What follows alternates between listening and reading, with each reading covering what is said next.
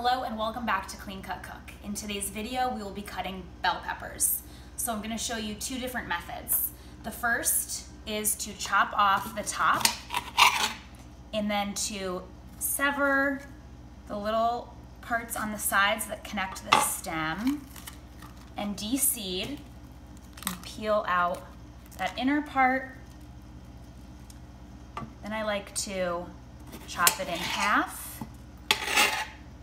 take off the end. And then I like to open it so I can easily cut small slices of pepper. Okay. Next method, if you don't want to deal with the seeds, is to simply find the stem and then cut the sides off. That way you don't really have to deal with the seeding.